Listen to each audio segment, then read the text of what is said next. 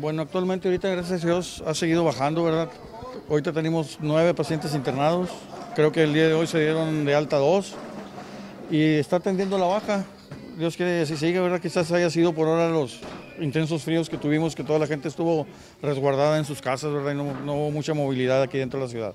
Todos están este, estables, de hecho los tenemos como sospechosos, falta el resultado de, de la prueba COVID, pero están bien, no están, ahorita no tenemos pacientes graves, gracias a Dios.